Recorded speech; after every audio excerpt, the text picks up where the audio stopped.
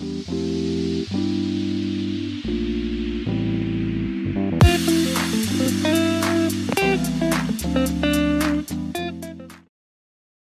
grade 11. It's good that you join me today with Unit 3 Early to Bed and Early to Rise. And we are going to talk about focus on speaking. Yes, that is our focus today. So I'd like you to open your textbook for listening and speaking and go to page 64. Focus on speaking. First thing we're going to do is we're going to review the vocabulary uh, that we've talked about throughout this whole unit so far. Yeah. And we're going to use the vocab in different situations. Now, the first one, you're going to read the website about sleep disorders and you circle the correct word. Okay, here you have the choice between either critical or sleep deprived or have a tendency to or make it a priority. You're going to circle the word or phrase that fits best in that paragraph or sentence. Pause your video to do that. Go ahead.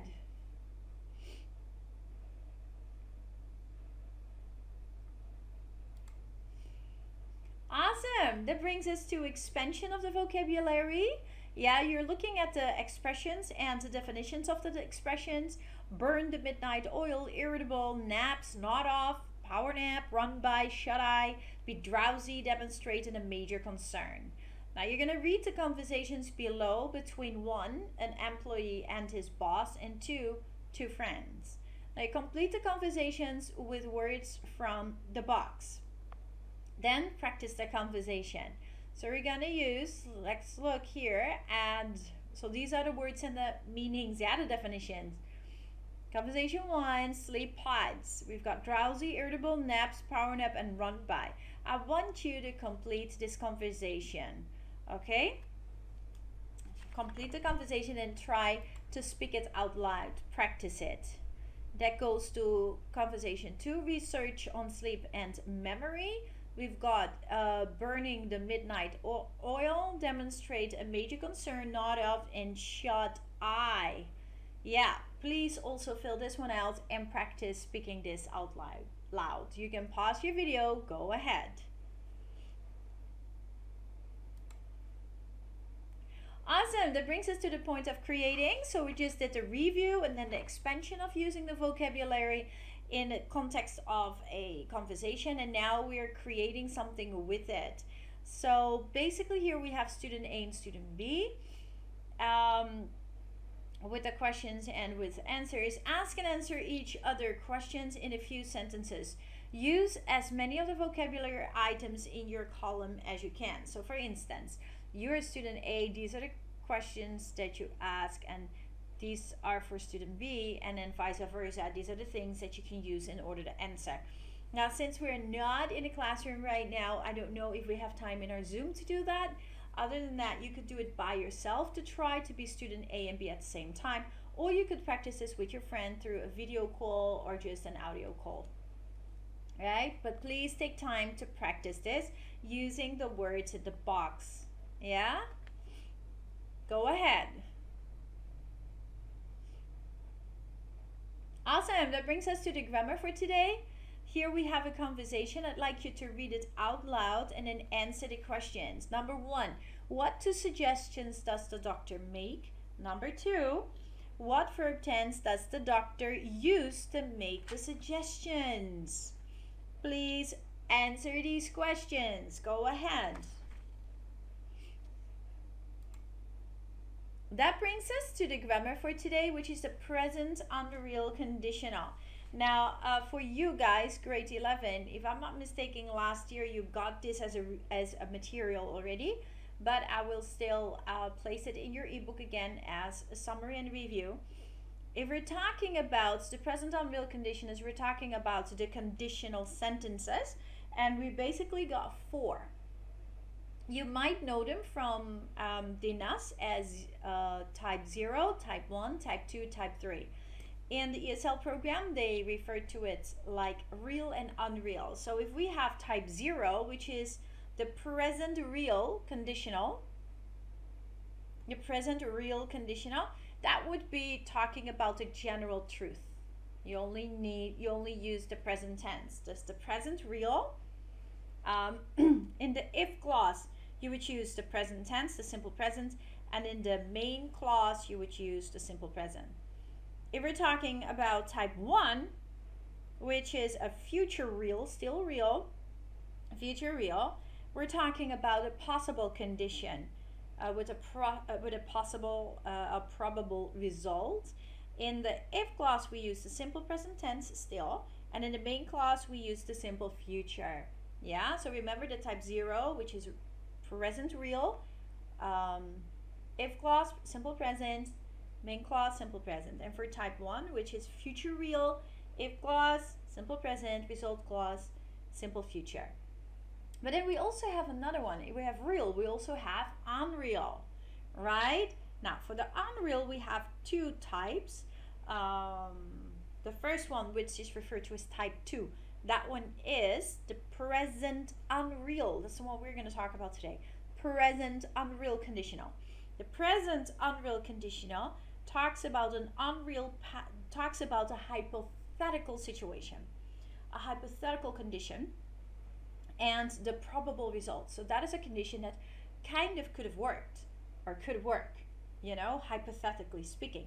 If I will say to you, um, for instance, if if I am the president, if I were the president, eh, sorry, if I were the president, I would buy you a house.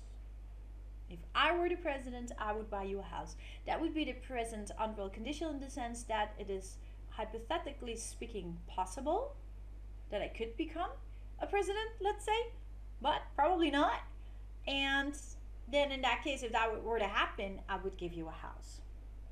So type 2 is hypothetical condition, which actually kind of could happen, but it's kind of probably not. Yeah. So in the if clause, we use um, the simple past, if I were the president. And in the result clause or in the main clause, we would use the present conditional. Yeah, the present conditional. So that would be words like would, could, might. We use would, could, might. And then we've got type 3, which is the past unreal. So we've got the present unreal, we've got the past unreal. That is type 3, it's the past unreal conditional. And the past unreal conditional is an unreal past condition and its probable result, but it can never happen. That is something that has happened already and cannot be restored. There's no chance to do that anymore. For example, if I would say uh, we use in the in the if clause we use the past perfect tense and in the result clause or the main clause we use the perfect condition.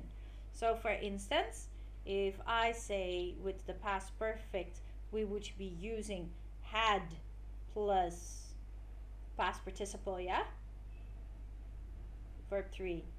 So if I, for example, say if I had studied for the exam, that is the past perfect. If I had studied, which is verb 3, for the exam, and then in the result clause we use would have, could have, might have. I would have graduated high school. Yeah, if I had studied for the exam, I would have passed and graduated high school. So in the past, unreal, we're referring to something that actually could have been different if I only had done something about it. But the chance has passed, so it cannot be reversed anymore. It's a done deal. Yeah? So remember, we've got real and unreal. Real, we have present and future. Yeah?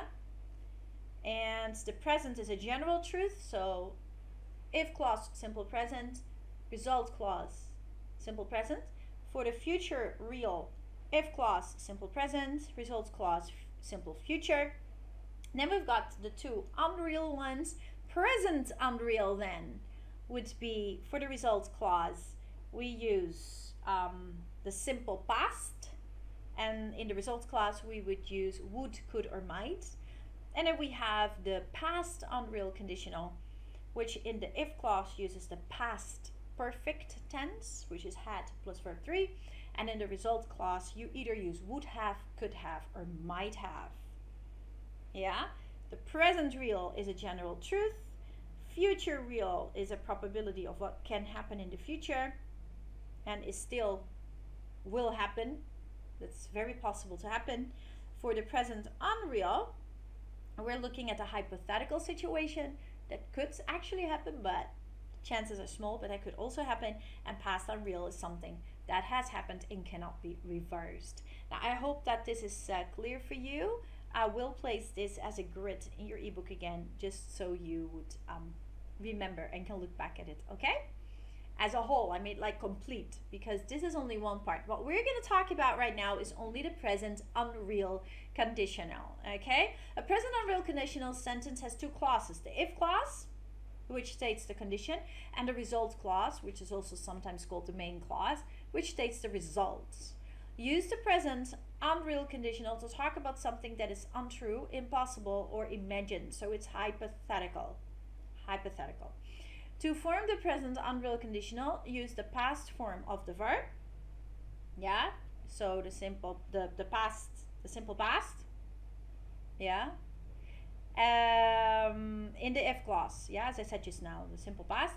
And note that the sentence is not in the past tense, however.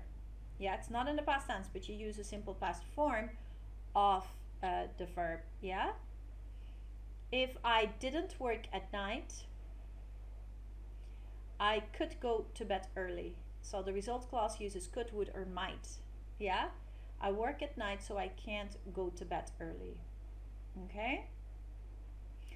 Use would plus the base form of the verb in the main clause, that is the result clause, to describe a definite result. So if Lion, if Leanne didn't have such a hectic lifestyle, she would spend. Yeah? So we use would, could, or might. Use might or could to describe a possible uh, result. Mostly we use would for a more definite result and might or could for a possible result. So using would would be more definite. To make a question, Use question order in the main clause. If you were sleep deprived, would you be able to tell? Yeah? Or how would you be able to tell? The if clause is not needed if the condition is understood by the listener. So in this case, this would be enough. Yeah? For the verb be, use were for all subjects. So I were, she were, he were, we were, they were, you were. Yeah, you cannot use was, am, or is. Only were. You can begin the sentence with either the if clause or the main clause. For example, if I went to bed earlier, comma, I would feel better. Or I would feel better if I went to bed earlier. Remember, if you start a sentence with an if clause, then if clause is a dependent clause. Okay?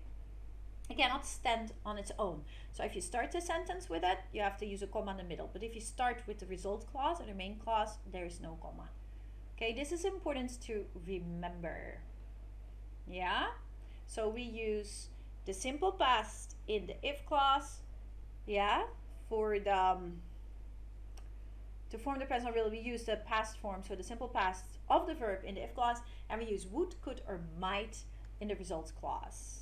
Okay? So make sure that you understand this. To be more definite, use would. To be less definite, more a possibility, use might and could. If you start the sentence with the if clause, use a comma.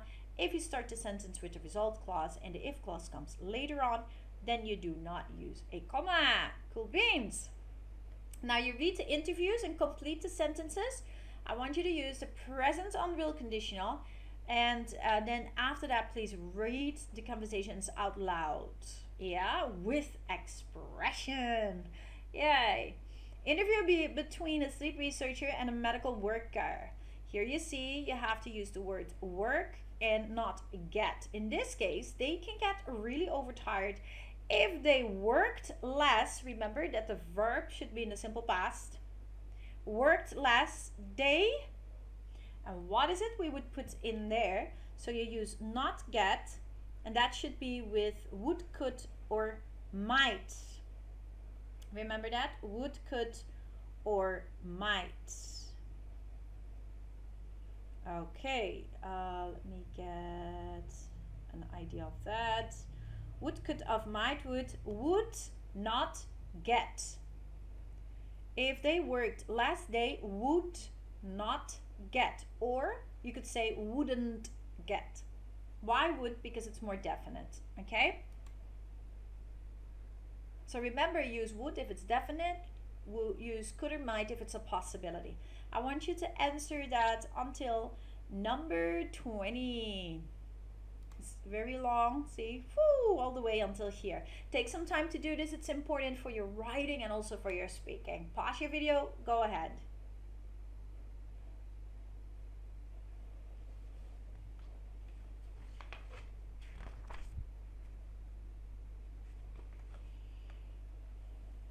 Awesome. That brings us to um, number three. Here, one person works for the Satellite Sisters radio talk show, and the other is calling to get advice about a sleep problem. Actually, you're supposed to take turns describing the problems and making suggestions using the present unreal conditional. That whereas here in this part, you're actually supposed to practice it in speaking. What you did just now was more like in writing, completing, recognizing, and completing it. And now you should practice that. So since uh, you are home by yourself, can you please try this out by yourself or with someone at home or maybe with a friend through audio call or video call? Yeah, we will go over this in our next Zoom meeting. So basically, take turns, describe the problem, and make suggestions. For example, here, my schedule changes from day to day. Sometimes I go to bed early, sometimes late, depending on how much homework I have to do. When I finally do go to bed, I can sleep. And then maybe the other person can answer, Why don't you take a bath before going to bed?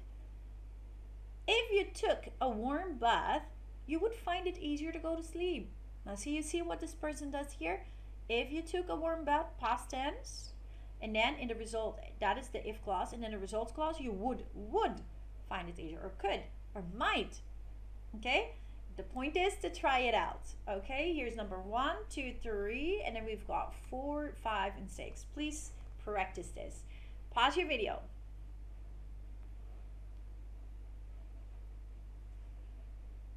Great. Pronunciation. Contrastive stress. Native speakers contrast information in a sentence by emphasizing the words they want to contrast or the accented syllables in those words. Now, the emphasized words or syllables are said louder, more slowly, or with a higher pitch. See, and that's how we create and we emphasize meaning. Listen. In the following example, the speaker is contrasting body with brain and classroom with pillow. My body's in the classroom, but my brain's still on the pillow. Ah, that gives us a clear example of how he pronounces ah, the ah of body. The my body's in the classroom, but my brain's still on the pillow. So you see these emphasis, emphasize and contrast, but also emphasize meaning and maybe meaning of contrast. Okay, I want you to listen to the sentences, and as you listen, please underline the contrasted words and try to repeat them by yourself, trying to say them out loud, because this is how you will practice your pronunciation, okay? Listen first and try to underline, circle, or highlight the words that you hear that are contrasted. 1. I need to go to bed, but I'm feeling energetic.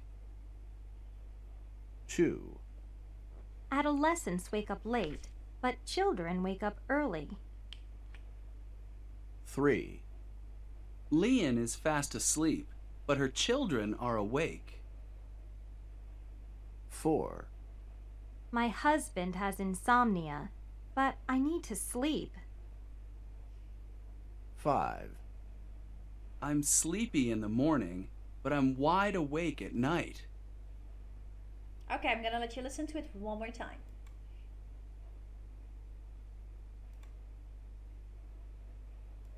1. I need to go to bed, but I'm feeling energetic. 2. Adolescents wake up late, but children wake up early. 3. Leon is fast asleep, but her children are awake. 4. My husband has insomnia, but I need to sleep. 5. I'm sleepy in the morning, but I'm wide awake at night.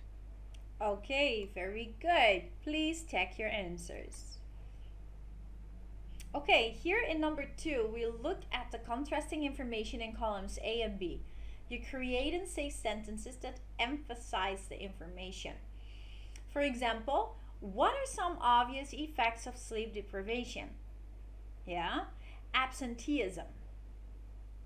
What are some subtle effects of sleep deprivation?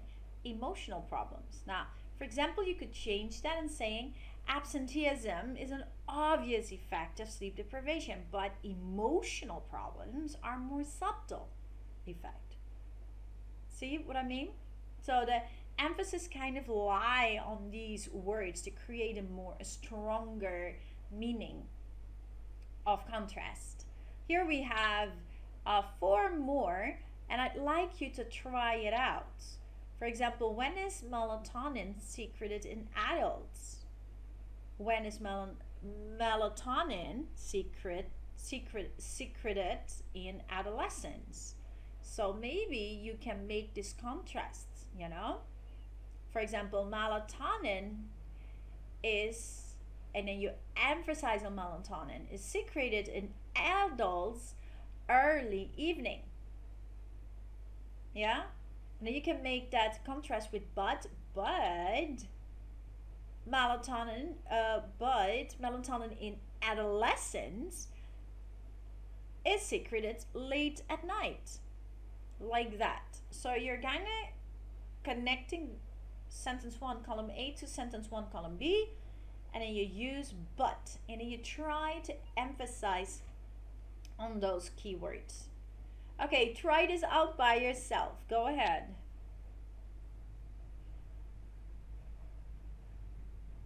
Awesome, that brings us to number three. We're going to complete the survey and compare the answers. Now, then report any differences that you see.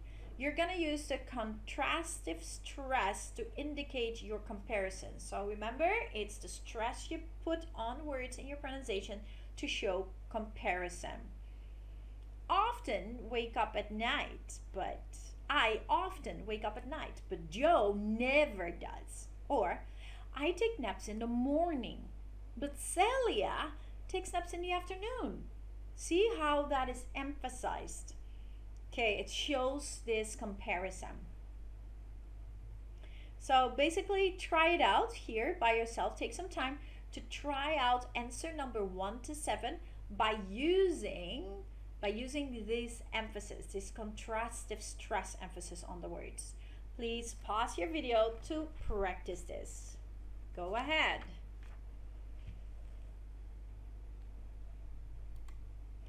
Great. Yeah, I know that these are things you got to do by yourself and it that's not as much fun as in a classroom. Totally agree with you.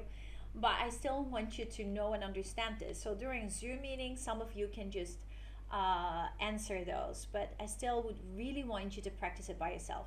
Speaking skill, interrupting to ask for clarification is totally fine to make sure that you understand something so your conversation can keep going. Sometimes you might not hear a speaker's information clearly if it is spoken too fast, or there's background noise, or you have a difficulty understanding the speaker. Now, to clarify information, especially facts, you can one, interrupt the speaker and ask about what you thought you heard, or two, ask the speaker to repeat what he or she said. Now, here's an example. Joel, I heard some horrifying statistic over 30% of traffic accidents are caused by sleepiness. People should be more careful. What did you say? 13%? Now, this is asking for clarification. No, I said over 30%. That's a lot, don't you think? 30%? I see what you mean. Wow, that's a very high figure. Now, here are some expressions you can use to interrupt the speaker when you do not understand something. Use rising intonation for the questions. So remember, we can interrupt to ask about what you thought you heard, like here. What did you say? 13%? That's what you what she thought she heard. Or ask the speaker to repeat what he or she said. Could you repeat that? Sorry, I didn't hear you. What was that? Like this. That's the request for clarification. Excuse me, what did you say? These are all polite. Okay. Now, definitely, I want you to practice. Um, basically, student A would read each statement aloud, right? And speak too softly or too quickly or mispronounce an important word so that student B won't understand and will have to ask a question, right? That's the whole point. And then student B would listen, interrupt, to ask a question, to ask partner A to repeat information, right? For example, I read that 70% of Americans are insomnia insomniacs. Sorry, could you repeat that, please? Like, what did you say?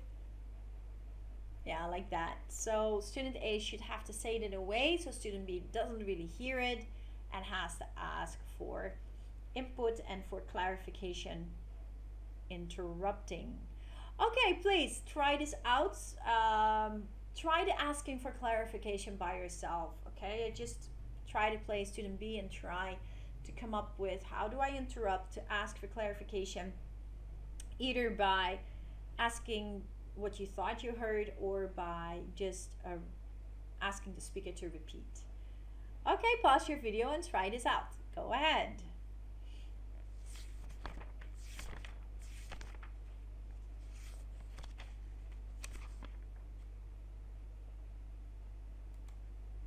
Okay, guys, well done. That brings us to the end of this lesson. Yeah, as a review, we started off with our vocabulary. We reviewed that in the context of a text. Sleep disorders, are you a victim? You had to choose the correct phrase or um, word. In context, when we went over the expansion of vocabulary, using a vocabulary in a conversation, seeing what word would fit in the best within a conversation, and then we came to the point of creating. You had to create a talk or a question and answering using the vocabulary in the boxes. That brought us to our grammar. In our grammar, we looked at the present unreal conditionals. We reviewed the four conditionals. Type 0, which is the present real. Type 1, which is the future real. Type 3, Type 2, that is the present unreal, and type 3, which is the past unreal. And our focus was on the present unreal conditional, type 2.